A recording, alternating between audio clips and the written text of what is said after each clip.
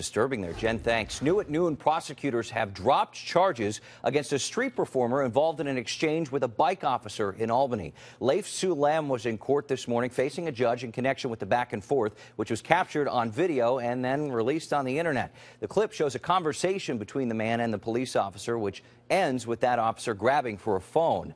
This morning, a disorderly conduct charge against Sulem was dropped. I've been busking in Albany for a long, long time.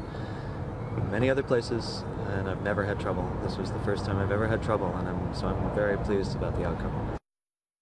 Now, the police officer involved hasn't been charged with any crime. Authorities tell CBS 6 the officer, though, has been placed on administrative duty while the department looks into what